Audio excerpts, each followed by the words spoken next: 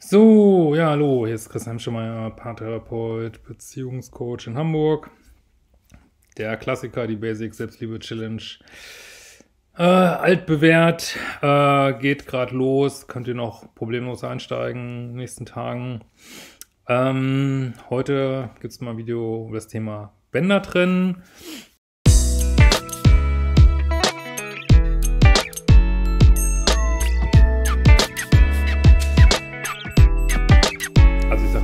Kern meiner Lehre ist ja in meinen Kursen drin. Die Videos sollen noch ein bisschen dienen dazu, äh, ja gut, allgemeine Fragen zu sprechen, aber auch Anwendungsfragen der Kurse. Und äh, es gibt ja den Liebeskummerkurs, das ist ja so mit der Klassiker bei mir in dem Modul 1.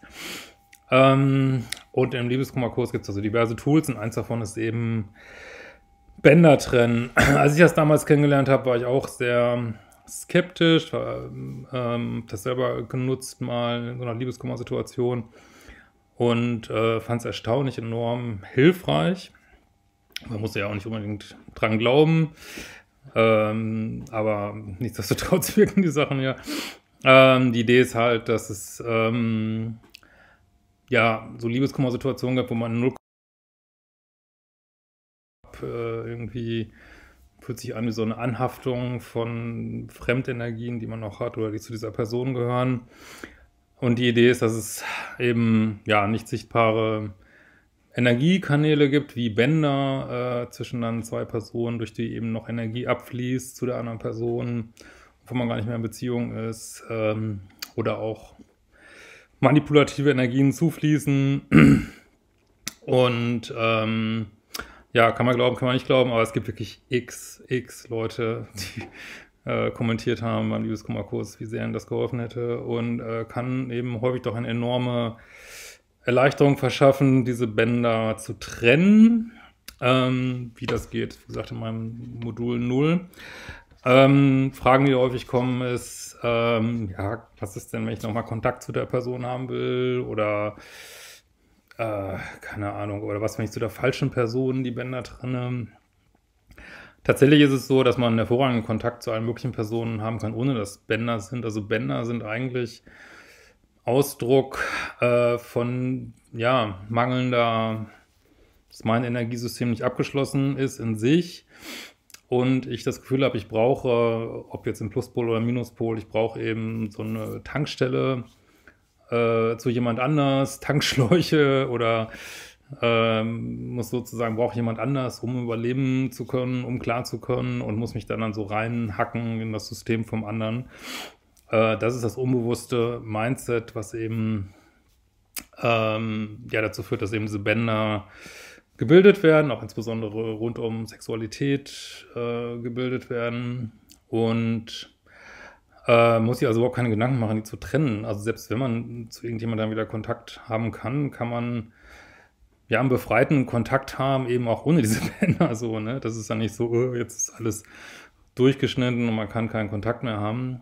Ähm, also man kann bedenkenlos diese Bänder trennen, egal wo sie entstehen. Das kann man ja auch machen zu anderen Leuten, wo man das Gefühl hat, boah, da brauche ich jetzt ein bisschen mehr Abstand oder muss mich da selber mehr finden. Können auch Arbeitsbeziehungen sein, Freundesbeziehungen, Nachbarn, ich weiß nicht was.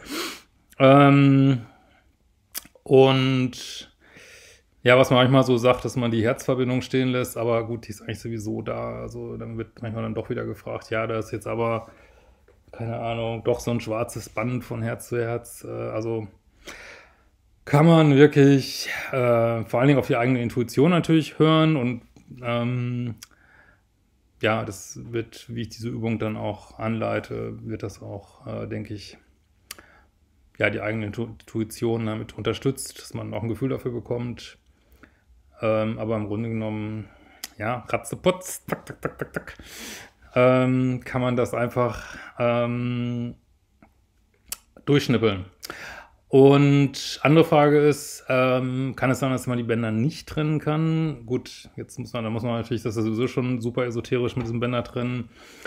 Ähm, aber wenn man jetzt mal eine Stufe weitergeht und vielleicht an sowas wie, äh, keine Ahnung, Wiedergeburt, Karma, whatever, glaubt, ja, dann gibt es vielleicht auch Bänder, die schon, äh, karmische Bänder, die schon vorher existiert haben. Und ähm, es gibt tatsächlich Situationen, wo man die nicht trennen kann, weil eben die Aufgaben noch nicht abgearbeitet sind.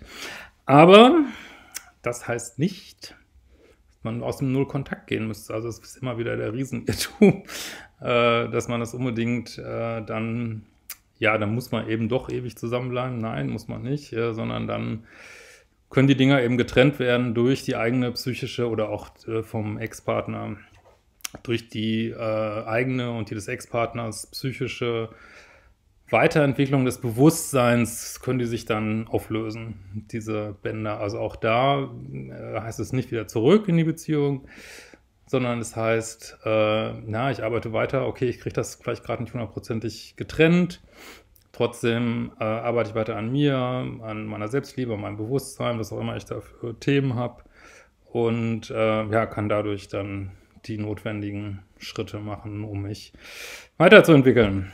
Ja, in diesem Sinne, wir werden uns bald wiedersehen.